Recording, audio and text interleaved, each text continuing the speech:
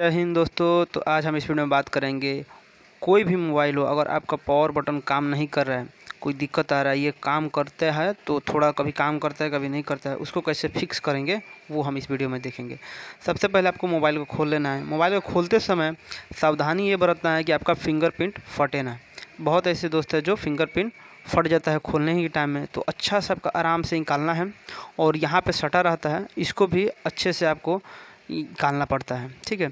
तो इसमें हम थोड़ा सा चिमटा से निकालेंगे आराम आराम से, कि जो फटे ना, और ज़्यादा हार्ड अगर टाइट हो तो इसको अपने फॉलकॉन से या कुछ भी आपको थिनर से या पेट्रोल है, पेट्रोल थोड़ा सा डाल दीजिएगा लोग, और यहाँ पे हमारा आराम से निकल जाएगा।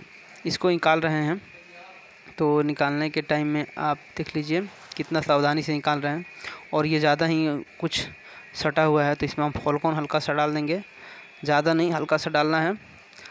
तो चारों तरफ़ फैले ना नहीं तो डिस्प्ले में जाएगा तो डिस्प्ले में दाग हो जाएगा। और उसके बाद इसको अच्छे से निकाल लेना है। निकालने के बाद यहाँ पे देख लीजिए, जो बटन है, पहले सबसे पहले बटन को चेक करना है कि हमारा अच्छा है या ख़राब है। ख़राब होगा तो चेंज करना पड़ेगा, नहीं है तो अगर काम करता है बटन ऐसे हटाने के बाद तो आपको बटन वहीं रहेगा। तो यहाँ पर मेरा ये कंडीशन है कि हमारा बटन काम कर रहा है, पर उसमें ये रखने के बाद जो फिंगर का वो फ्लेक्स है, वो रखने के बाद हमारा बटन काम नहीं कर रहा है।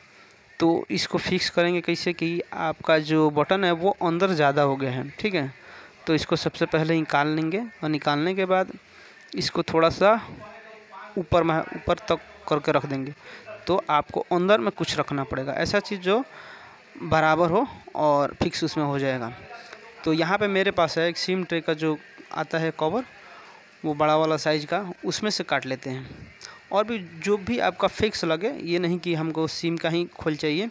कोई भी कुछ भी हो, आप ऐसा फिक्स लेकर और उसमें डाल सकते हैं। पर ये फास्ट काम करने वाला है। तो यहाँ से हम थोड़ा सा उसके साइज़ के हिसाब से काट लेते हैं। और काटने के बाद इसके अंदर में, जो बटन है, उसके अंदर में ही इसके अंदर में बॉडी में डाल देना है। और उसके बाद ऊपर से इसको बटन को रख देना है। अब ये थोड़ा ऊपर आ गया है।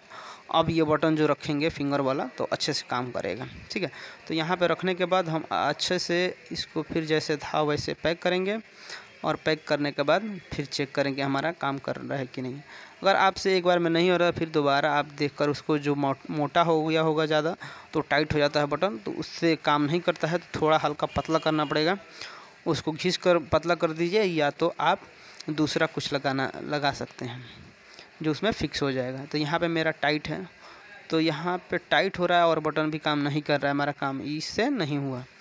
तो इसको टाइट इसलिए हो रहा है कि ये साइड साइड में जो बटन काम करते करते जो मिट्टी धूल चला जाता है, उसकी वजह से ये हमारा जो है बटन जाम हो गया है।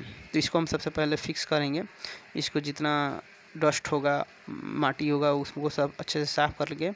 और इसको थोड़ा सा हल्का, हम साफ़ कर लेते हैं और तब फिर से हम ट्राई करेंगे।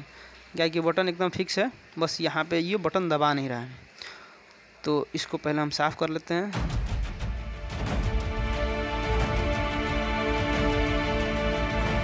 और बटन को भी अच्छे से उस पर माटी धूल लगा हुआ है यूज़ करते करते हमारा जाम हो जाता है। तो उस वजह से भी हमारा बटन काम नहीं करता है। तो इसको अच्छे से साफ़ कर लेना है। साफ़ करने के बाद जो अंदर बाहर आ सके आसानी से। या नहीं, ये नहीं कि आप क्लिक किए और अंदर ही जाकर फंस जाएगा। तो इसे काम नहीं करता। देख लीजिए, हम साफ़ करने के बाद ही हमारा हंड्रेड परसेंट काम करने लगा। तो ये अच्छा एक नंबर हो गया हमारा काम। आई होप वीडियो अच्छा लगा हो। वीडियो अच्छा लगा तो वीडियो को लाइक और चैनल को सब्सक्राइब ज़रूर कीजिएगा। ऐसे इन्फॉर्मेशन हम लाते रहते हैं छोटी मोटी चलिए मिलते हैं नेक्स्ट वीडियो में।